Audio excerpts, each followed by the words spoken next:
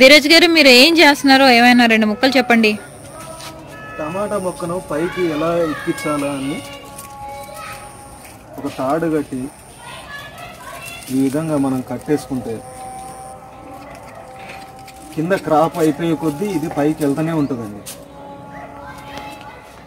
ఈ విధంగా ఎక్సెస్గా వచ్చిన కొమ్మలను రెమ్మలను కట్ చేసుకోవడం వలన పైన కొమ్మకు బలం పేరుకొని కాస్తంత అది పైకి వెళ్ళడానికి దానికి అనువుగా ఉంటుందండి ఇవన్నీ మనకు క్రాప్ అయిపోయిన మొక్కలు.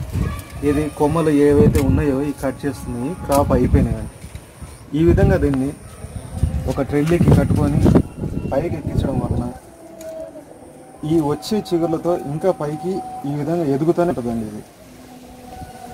ఈ విధంగా కట్టుకోవడం వలన మనకు ఈ కింద క్రాప్ అయిపోవడం పైన క్రాప్ మళ్ళీ మొదలవుతుంది. సో ఎప్పుడైనా టమాటా మొక్కకి అయితే అడుగు నుంచి మనం ఏవైతే రెమ్మలు అయిపోయినటువంటి క్రాప్ అయిపోయినటువంటి కొమ్మలు రెమ్మలు ఉన్నాయో వాటిని అయితే మనం తొలగించాలంటారు. అంతేనా? అవునండి తొలగించేయాలి అవి.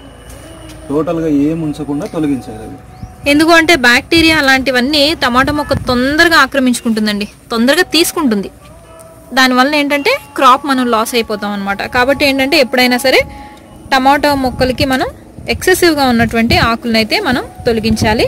అలాగే డ్రై అయిపోయిన లీవ్స్ని కూడా మనం ఎప్పటికప్పుడు తీసేసుకుంటే మనకేంటంటే బలమైనటువంటి పూత అలాగే దాని ద్వారా మనకి కాపు కూడా వస్తుంది. చూస్తున్నారు కదా పైన ఇంకొక క్రాప్ తయారవుతుంది మళ్ళీ. కింద ఏదైతే క్రాప్ అయిపోయిందో అయిపోయిన మొక్కలు కొమ్మలు ఇవన్నీ. ఇప్పుడు క్రాప్ ఇది అయిపోవచ్చింది. దీన్ని నెక్స్ట్ దీన్ని కట్ చేసేసుకోవడం వల్ల దీనికి బలం పెరిగి ఈ పూతకు మళ్ళీ కాయ మొదలవుతుంది.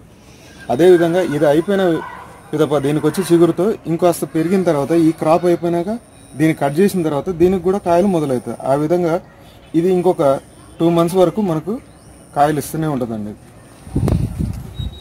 అలాగే టమాటో చెట్టు పక్కన ఎప్పుడైనా సరే ఇలా గమ్ షీట్స్ని అరేంజ్ చేసుకోండి. మర్చిపోకండి.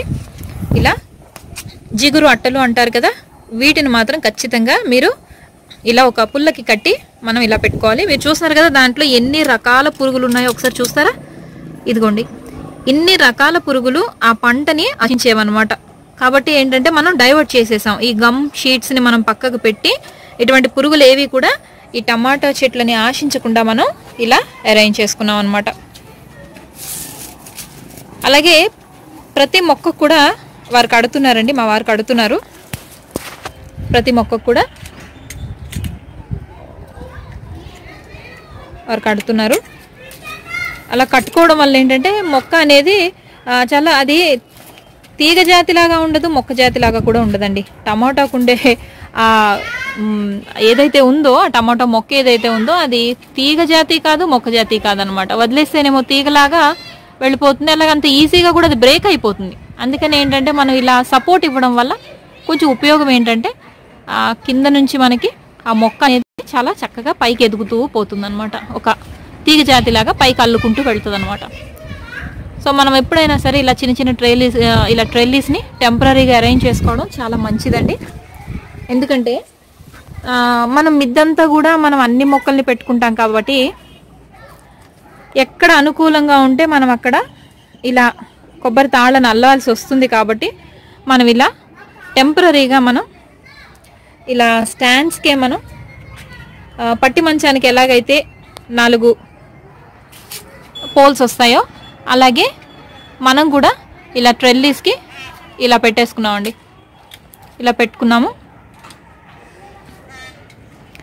ఇలా ఏంటంటే ప్రతిరోజు మన మిద్దె తోట మీద ఏవో ఒక పనులు ఉండనే ఉంటాయండి. ఇప్పుడు ఎండాకాలం వచ్చేసింది. మనం కొత్తగా నాటుకోలేము. ఏ మొక్కల్ని కూడా మనం కొత్తగా నాటుకోలేము. సమయం. ప్రతి నెలకి ఒక విశిష్టత ఉంటుంది కదండి. ఇప్పుడు మనం మార్చి నెలలో ఉన్నాం కదా. సో ఈ మార్చి నెలలో మనం మార్చి ఏప్రిల్ మే నెలలో మనం ఎట్టి పరిస్థితుల్లో కూడా కొత్తగా మనం ఏ మొక్కల్ని నాటుకోలేం. ఏదైనా వేసుకుంటే లీఫీ వెజిటబుల్స్ని వేసుకోగలం తప్పించి అంతకు మినహాయించి ఏ మొక్కలు వేసినా ఇప్పుడు సఫలీకృతం కాలేమన్నమాట. థ్యాంక్ యూ అండి. ఇదే విధంగా మీరు మా వీడియోలను లైక్ చేస్తూ షేర్ చేస్తూ మీ యొక్క ఫ్రెండ్స్కు షేర్ చేయమని చెప్పండి. ఇదే రోజువారీ పనులు. మేము మీకు మేము ముందు వస్తూనే ఉంటాము. ఈ యొక్క వీడియోలను ప్రతి ఒక్కరికి మీరు షేర్ చేస్తూ మా యొక్క వీడియోలను ముందుకు తీసుకుపోమని లైక్ చేయండి షేర్ చేయండి. పక్కనున్న గంట సింబల్ను ట్యాప్ చేయడం మర్చిపోకండి. మీ యొక్క ఆదరణకు శాంతి ధీరజ్ మిద్దె తోట ధన్యవాదాలు చెప్పుకుంటాను